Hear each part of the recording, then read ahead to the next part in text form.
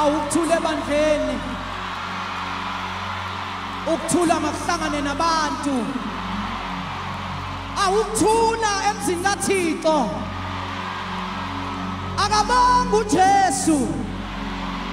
Alibanga iwundlu. Akabanga uNkulunkulu. Awu ameni. Ake nginilandise indaba. Mangikhula lemakhaya ngikhulele eZayoni eh uthe uhamba isikhathi and some foreign spirits started creeping into the church.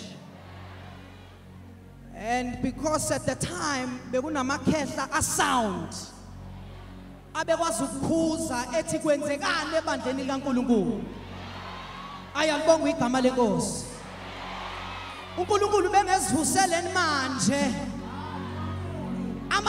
Impunga. The old man will rise up in the church of God and say what is happening? Because there has risen people abathi that says the Lord engashongo ayukuthula ebandleni. Usukuma ikhehla endala ingwevu ikhuza isivuvava nesivunguvunge bese singene ebandleni.